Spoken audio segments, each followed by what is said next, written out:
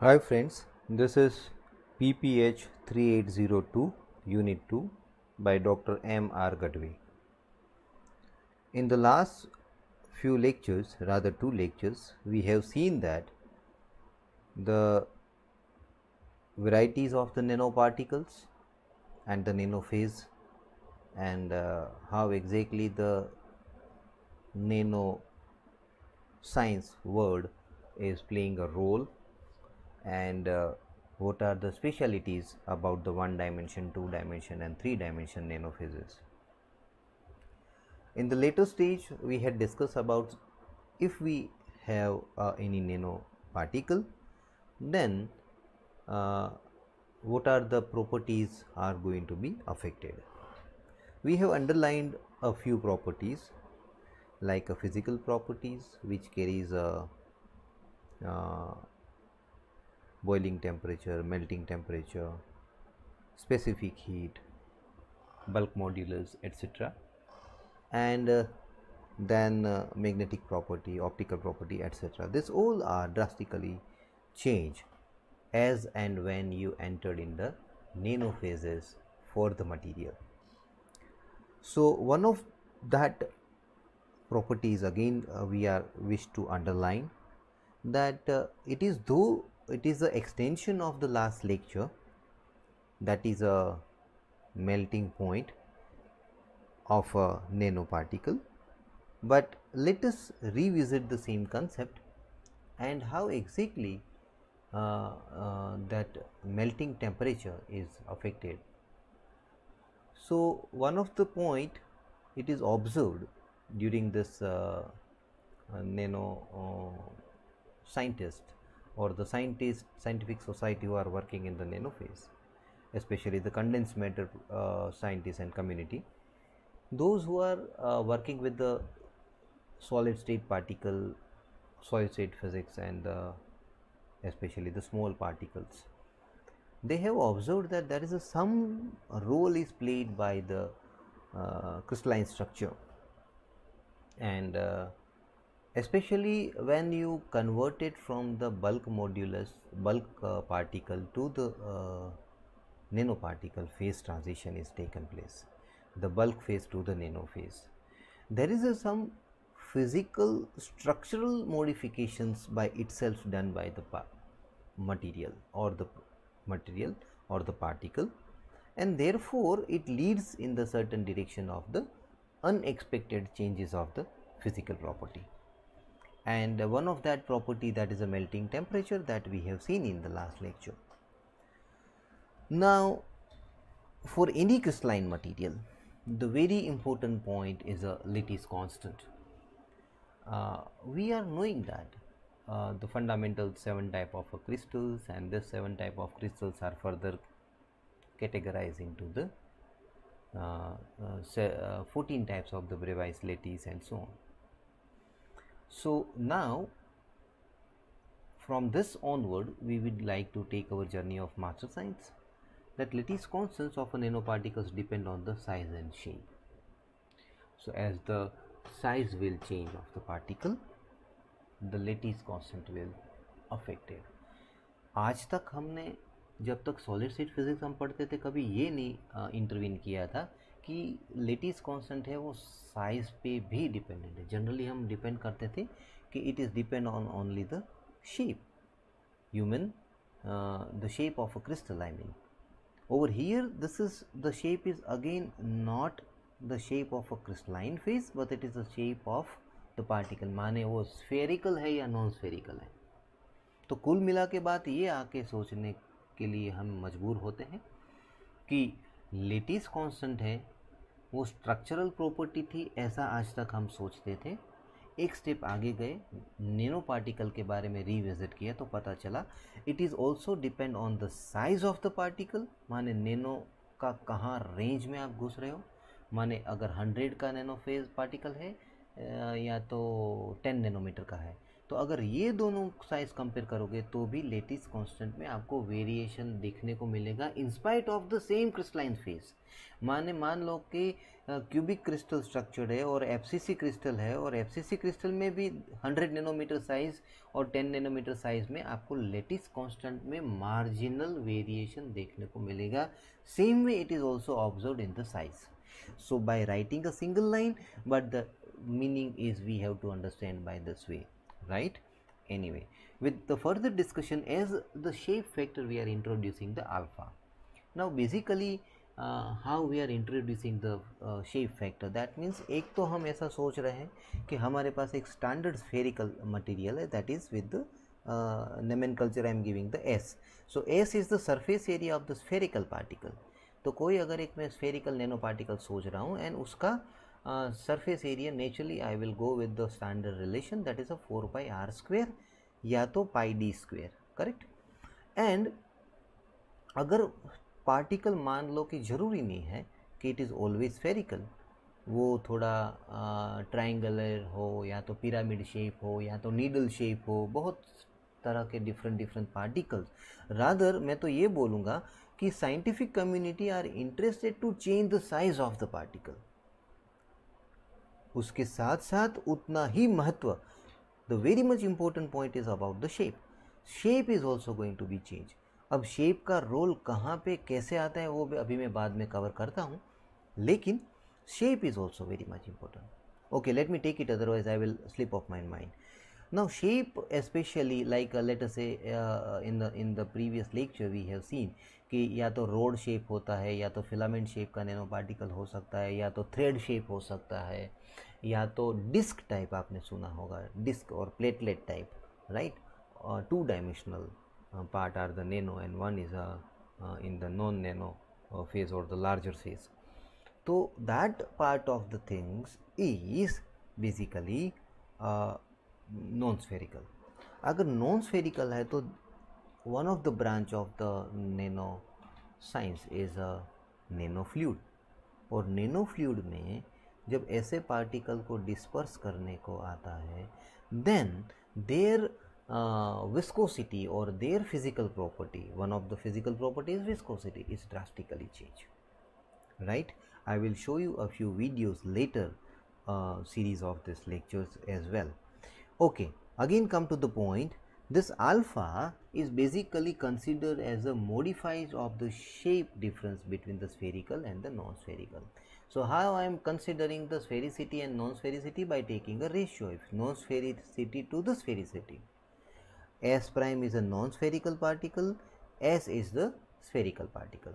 So the ratio of S prime to the S is give me the factor alpha which is defined as a shape factor alpha which is a ratio of a spherical particle to the non-spherical particle by their surface area okay so s is the surface area of a non-spherical and s is the area of a spherical now when i say that कि ये uneven spherical है थोड़ा बहुत टेढ़ा मेढ़ा let us assume that like a apple और apple से लेके आप पेयर पैर पे जाइए या पैर की जगह पे आप बेरी पे जाइए so as the fruit will change naturally there more और less spherical but still when you look at very drastically uh, minutely so shape is drastically changed right so therefore if I wish to take that's a non-sphericity to sphericity surface area and that ratio is referred as alpha and therefore non-spherical surface can be achieved by the alpha factor that is a ratio into the sphericity. So, alpha 2 multiply by the spherical that will give me the shape surface variations of the non-spherical particle with respect to by consideration के वही particle spherical हो. Okay, so that is a 4 pi r square and s prime will be definitely given by the alpha into alpha into 4 pi r square.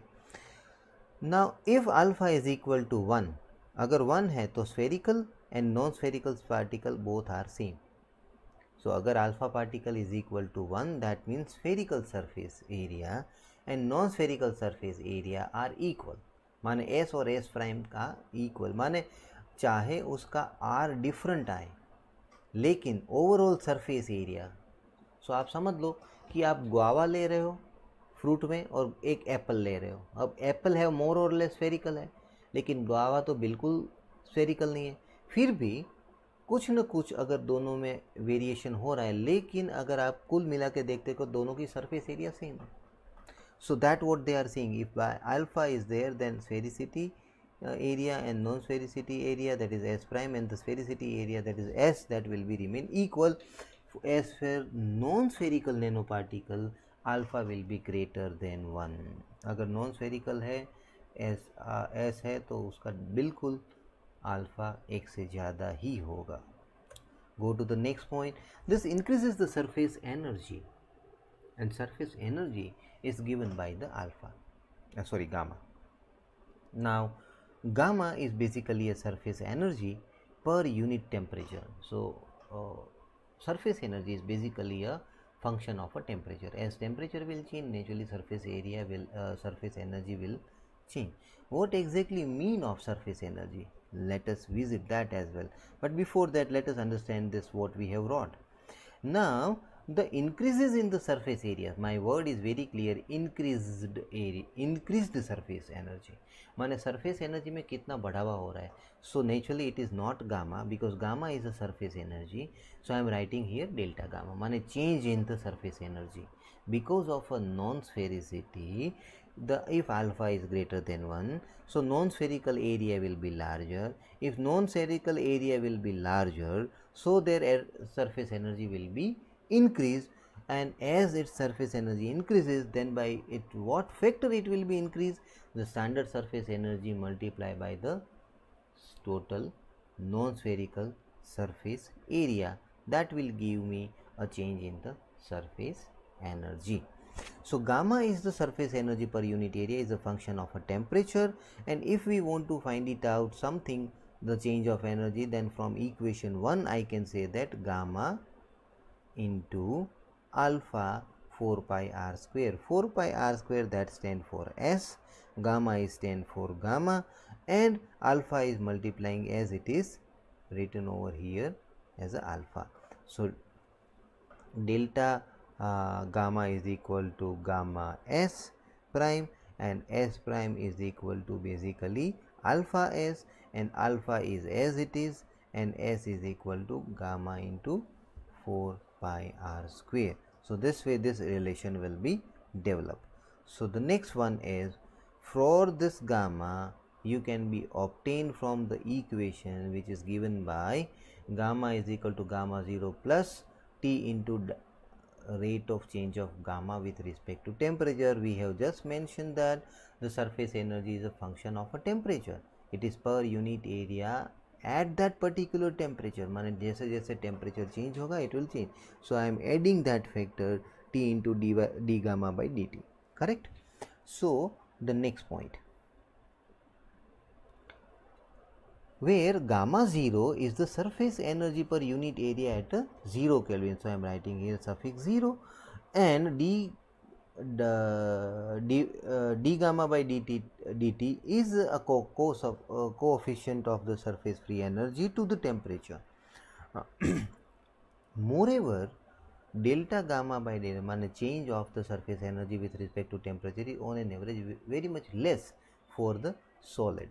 Now, why it is less? Because on this uh, solid, the response of a temperature is not that prominent if it you are comparing with the uh, uh, liquid molecule or the uh, air molecules or the gaseous molecule or the liquid molecules which is more vibrant or which is more vibrational uh, variations will be occurred with that molecule uh, compared to the solid uh, particles. And therefore the d gamma by dt, uh, dt is always or the coefficient of the surface free energy uh, to the temperature that ratio will not drastically change uh, in case of a solid so it's just input फिर से एक बार एक बात याद रखना कि gamma Y zero is basically a surface energy per unit area at 0 Kelvin by chance they may ask in you the short questions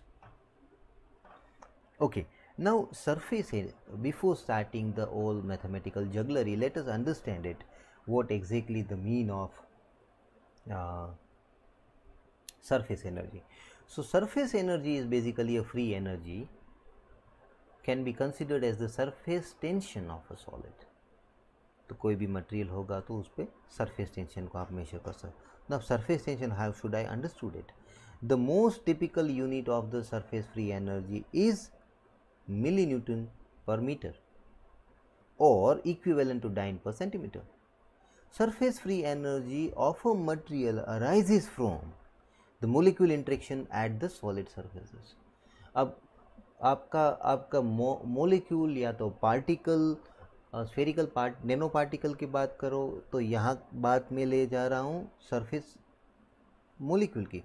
So molecule is made up of more than one atoms so more than one atoms that means there should be certain atoms on the surface and certain atoms in the core so let's take the picture of it so this is a spherical surface of a material of what we are talking of this is the beneath level are the gray shades are the particles which are the core particle and the blue are the available number of atoms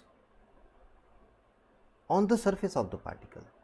These are the gray ones are the gray ones particles are sorry gray ones atoms are the atoms which are in the core of the particle blue are the part atoms which are on the surface. Okay.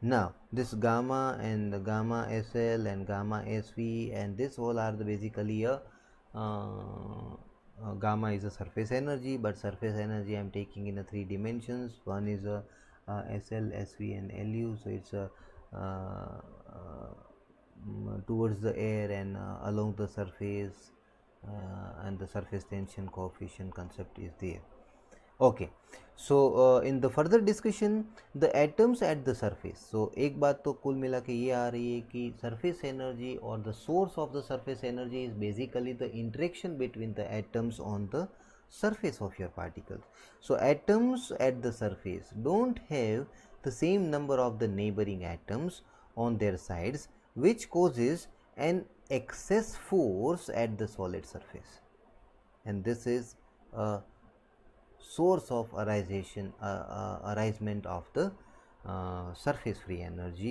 क्योंकि यहाँ पे थोड़ी energy imbalance हो रही है। Imbalance energy होने का कारण भी ये दे रही है because of the in discontinuity of the neighbourhoods क्योंकि यहाँ पे आप देखो तो पीरियोडिसिटी ऑफ़ द अरेंजमेंट आपको दिख रही है लेकिन जैसे ही आप सरफेस पे गए तो पीरियोडिसिटी डिस्टर्ब और वियर्ड होने लग रही है। Right? Because this is variations are occurred because of the change of the surface tension as it is mentioned over here. So basically surface energy is considered as a surface tension. Surface tension is making a change in the arrangement of the surface atoms and because of a change of a surface atom uh, arrangement their uh, continuity of a neighboring hood will be changed and because of the change there is a excess force is arises within the solid surface. The strength of this force is depend on the strength of the force between atoms in the solids. So, जो variations हो रहा है that is because of the uh, change in between the uh, their uh, periodicity और उसकी जो strength है that do depend on the the strength between the force of the atoms in the solids. So, this is gives us an idea that what it mean by the uh, surface energy. So, now you have a clear idea कि जब bulk material में से nano material बनाते हैं तो size change हुई size change हुई तो number of the atoms on the surface will be more and therefore the change in the surface energy is become a predominating case in case of a nano phase. Let us have a few examples in the metal. जो हम बात कर रहे हैं solid material की तो उसकी ही मैंने एग्जांपल रखी है।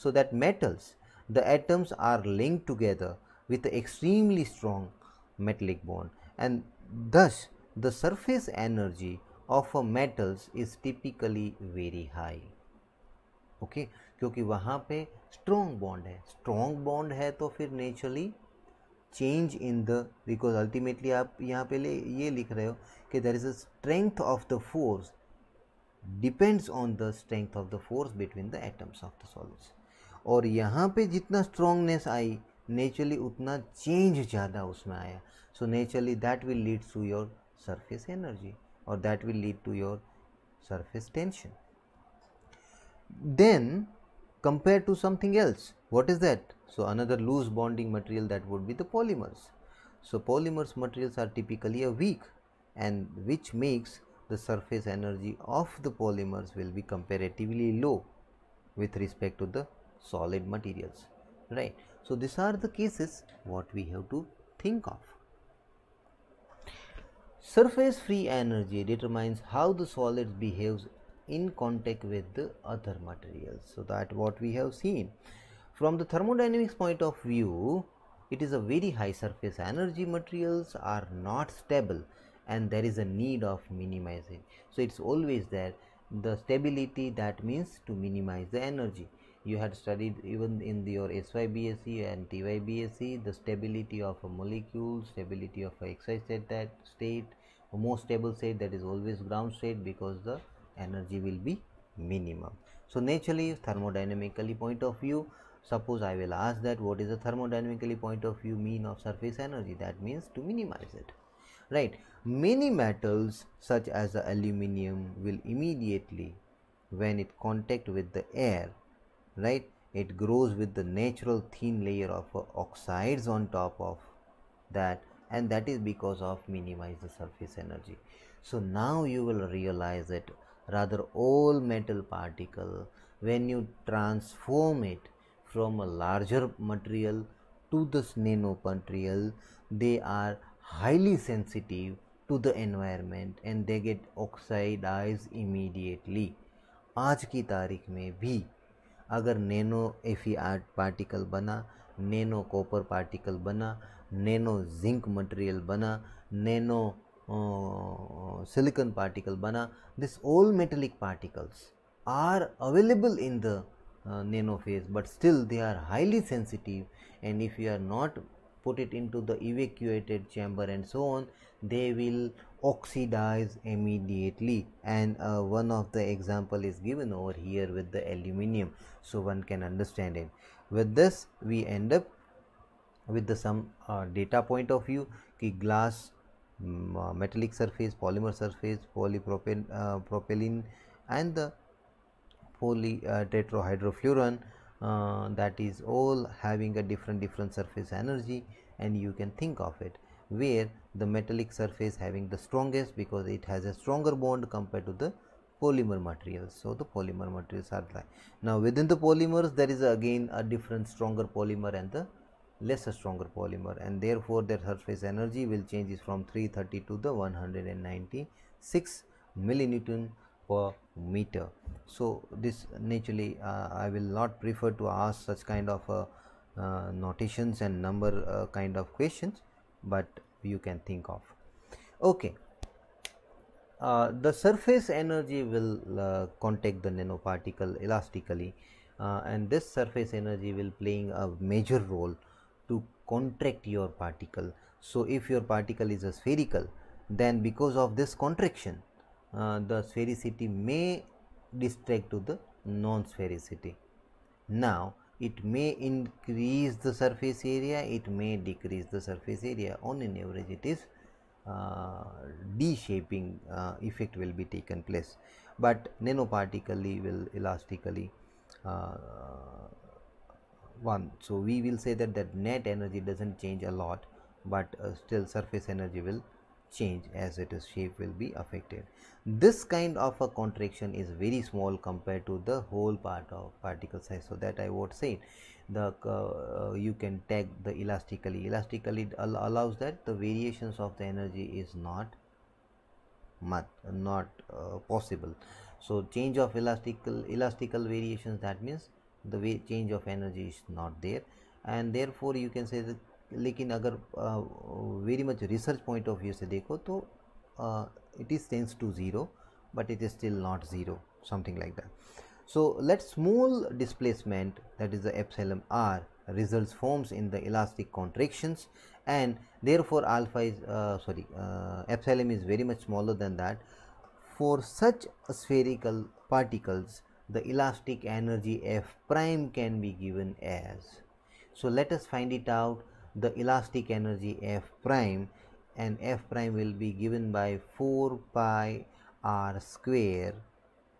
Now as the r is changing as i said uh, epsilon is very much smaller than 1 so epsilon m is basically uh, a change of uh, displacement in the lattice constant which leads to the contraction.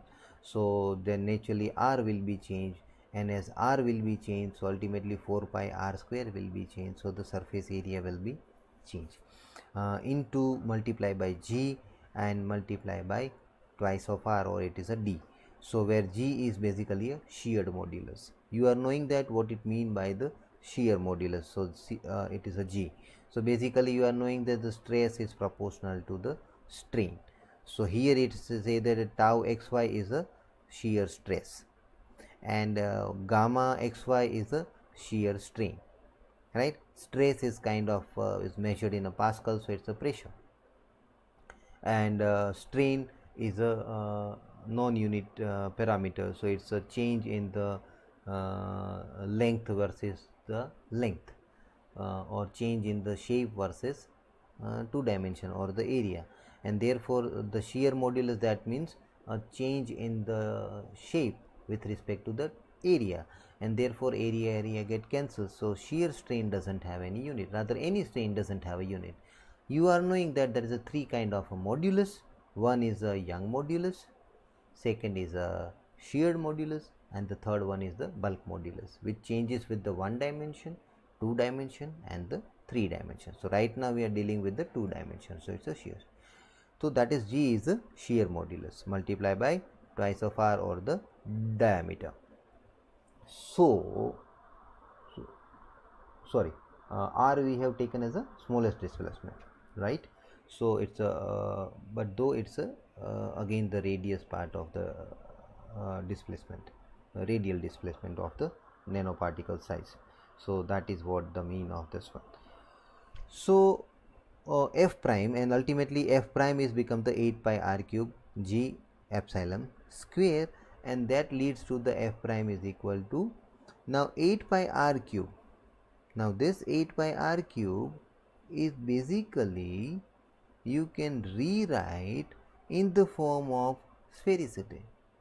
So let us say 4 pi r square is the spherical surface, right? Now from that sphericity and you compare with the 8 pi r cube and try to reshape the 8 pi r cube in terms of the sphericity, then you are getting the under root of pi 1 or, or rather s raised to 3 by 2 under root of pi divided by so under root 1 uh, s divided by under root of pi so i am writing pi as a minus 1 half. You can do a very simple calculation. 8 pi r cube is nothing but the related to the converted into the surface area now nanoparticle surface area i have uh, written with the very first equation. It's a 4 pi r square. So you 4 pi r square uh, you put it in the shape of 8 pi r cube in terms of sphericity that is the s then you will come up with the logic of the uh, this one. Now what is the motive of to doing so? Motive is very simple because I am interested not in the radial size of the particle but I am interested about the surface area of the nanoparticle. Because surface area is do compare with the surface energy. So I am thinking about the surface energy. And therefore I need the surface. Whether it's a spherical or non-spherical. If I want to convert it into the non-spherical then I have to rewrite as a terms of alpha. And that would be alpha s is equal to alpha prime. And therefore here I can write s is replaced by alpha. Okay this is I need to correct it.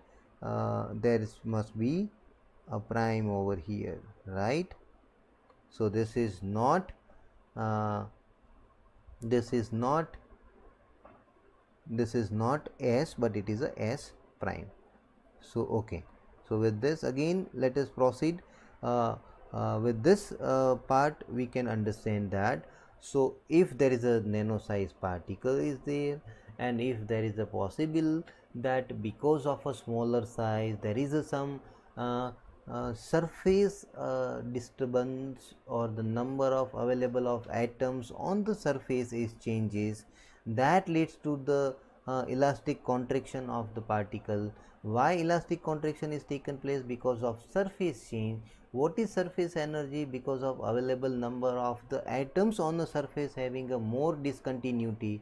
That leads to the change in the deformation of the force uh, dis distribution over the surfaces. And the force is depend on the bond strength of your material. And that is why the solid particle having a larger uh, surface energy cha change compared to the other materials. And therefore I have finally come up with the uh, elastic energy uh, relation and that would be the alpha raised to 3 by 2 uh, pi raised to minus 1 half s prime raised to 3 by 2 g that is the shear modulus and uh, epsilon that is the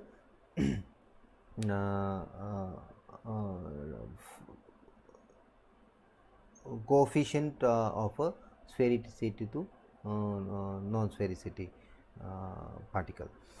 Okay so with this i end up my uh, discussion uh, and uh, thank you so much for paying attention. Stay home stay safe.